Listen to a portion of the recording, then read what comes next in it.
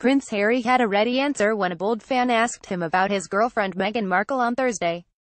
Attending a ceremony to honor Britain's fallen soldiers at Westminster Abbey's Field of Remembrance, Harry shared a light-hearted moment on an otherwise solemn occasion.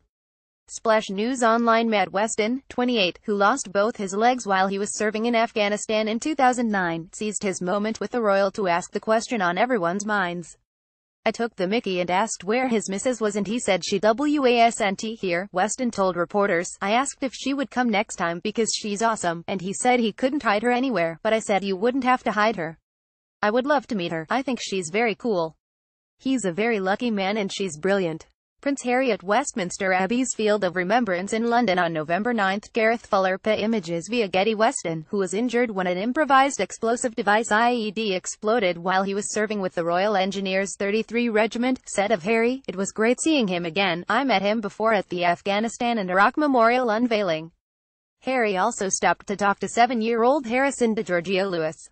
The little boy was wearing the medals and ray that had belonged to an uncle who was killed in Afghanistan in 2008. He has been coming here for four years now to represent his uncle, said Helen Lewis, Harrison's grandmother. Harry recognized him, they have a bond, as they share a birthday. Harry asked him about his uncle Aaron, and he said how proud he was.